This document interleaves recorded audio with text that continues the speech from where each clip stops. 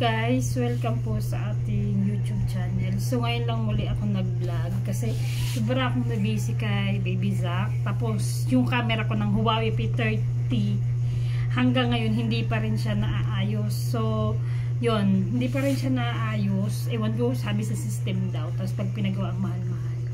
So ngayon guys, na, may i-share ko lang at katanungan na rin na sana ay masagot ninyo na sana ay hindi lang ako yung ako lang yung relate. Kasi yung anak ko mag isang taon na siya.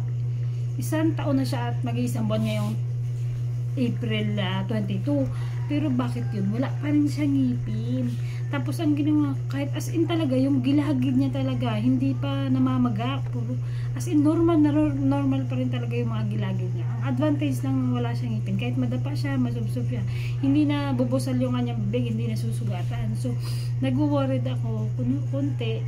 Pero, ganoon na rin. Siyempre, mga nanay, pag parang nalilate yung mga development, parang nagwo-worry-worry. So, isang taon na siya mahigit, pero wala pa rin siya ngipin. So, normal lang ba talaga na wala pa siya ngipin? Pero nababasa-basa ko kasi, nag-search ako sa Google na normal lang daw or may bata lang may mga bata na minsan ay inaabot ng isang taon mahigit o isang taon mga 1 year and 5 months daw kailangan may ngipin na So, medyo nag, nag-worried ako tapos nag-pray ako na sana magkangipin na yung baby ko. Pero magaling na siya maglakad, magaling na siya kumain.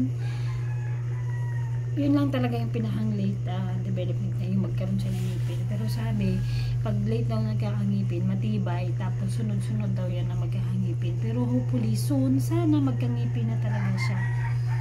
Para less na yung aking work bilang isang nanay.